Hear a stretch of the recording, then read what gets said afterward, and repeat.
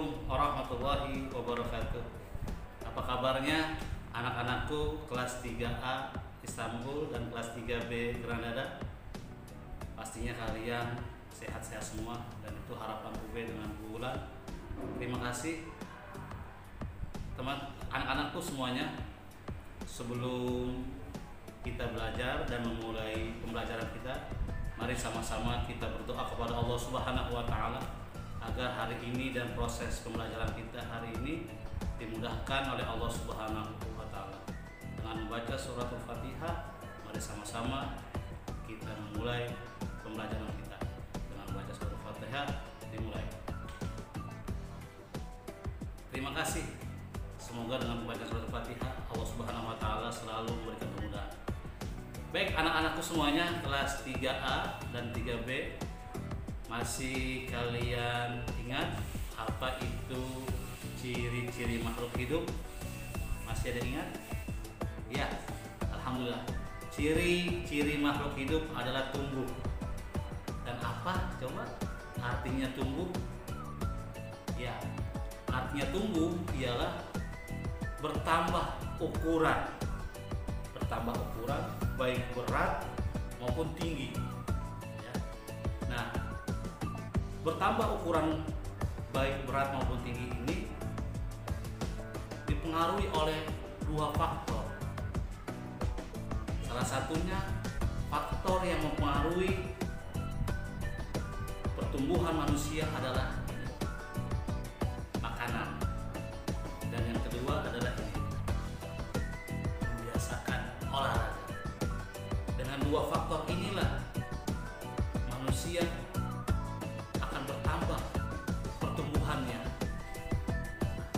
Agar tubuh kita dapat tumbuh dengan baik, maka salah satunya kita juga harus makan makanan yang bergizi.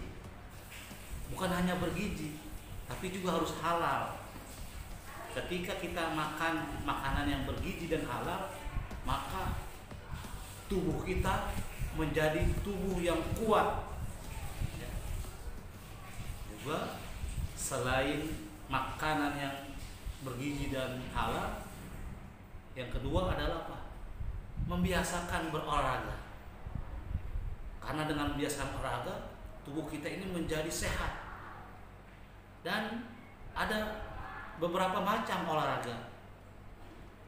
Salah satunya adalah bermain kuda-kudaan.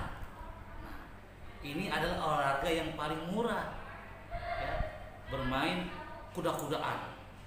Ya, kamu bermain kuda-kudaan dengan saudara kamu di rumah, baik itu dengan kakak ataupun adik.